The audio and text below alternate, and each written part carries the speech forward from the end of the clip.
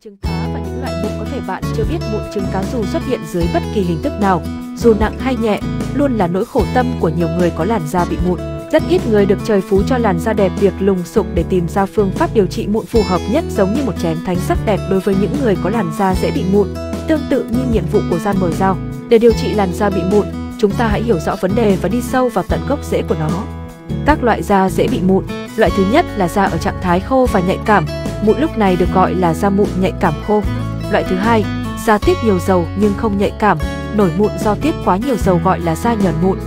Loại thứ ba, da rất nhờn, đỏ và nổi mụn, thường là do tình trạng thứ hai dẫn đến hàng rào bảo vệ da bị tổn thương hoặc hình thành viêm da do nội tiết tố, gọi là da mụn nhạy cảm dầu.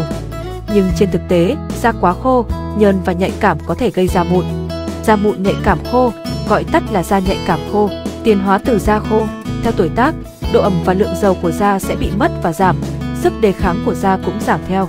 Cùng với việc chăm sóc không đúng cách, hàng rào bảo vệ da bị tổn thương, một số sản phẩm chăm sóc da dễ gây kích ứng sẽ khiến da bị kích ứng hoặc dị ứng. Phân biệt các loại mụn, phân loại mụn và loại da có mối quan hệ mật thiết với nhau. Mụn thì được phân chia thành mụn viêm và mụn không viêm. Mụn không viêm là tình trạng mụn ở mức độ nhẹ và chúng dễ dàng được phát hiện ra.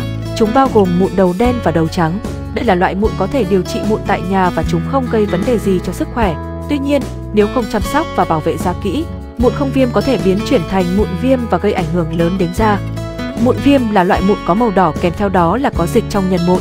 Mụn viêm là loại mụn vô cùng nghiêm trọng. Mụn nang, u nang, mụn bọc, mụn mủ là những loại đẹp xếp vào mụn viêm. Chúng gây đau nhức, khó chịu và là loại mụn tương đối khó điều trị. Bạn cần biết nguyên nhân gây ra mụn viêm để từ đó có phương pháp, liệu trình chăm sóc da phù hợp. Quy trình chăm sóc da mụn và các hoạt chất giảm mụn, giảm viêm. Thành phần cần tìm Axit salicylic có tác dụng giảm viêm và thông thoáng lỗ chân lông. Nó giúp trị mụn mủ, làm cho chúng biến mất nhanh hơn, nhưng nó là lý tưởng cho mụn đầu trắng và mụn đầu đen. Bentezoxyze rất tốt cho mụn viêm vì nó tiêu diệt vi khuẩn gây mụn. Bằng cách tẩy tế bào chết trên bề mặt da, Retinoid loại bỏ các tế bào da chết có thể làm tắc nghẽn lỗ chân lông. Chúng cũng ngăn chặn tình trạng viêm và là nền tảng cho mọi chế độ chăm sóc da bị mụn trứng cá. Thói quen buổi sáng, sữa rửa mặt làm sạch da vào buổi sáng và có thể là một thành phần tốt trong chế độ trị mụn. Toner giúp loại bỏ dầu thừa có thể giúp làm nổi mụn. Kem dưỡng ẩm sẽ giữ nước cho da, dù là da khô hay da dầu. Kem chống nắng rất hữu ích vì một số sản phẩm trị mụn có thể làm tăng độ nhạy cảm của da với ánh nắng. Mặc dù không bắt buộc phải trang điểm nhưng có thể nhanh chóng che đi mụn và vết mẩn đỏ còn sót lại. Quy trình buổi tối, tẩy trang giúp lỗ chân lông thông thoáng.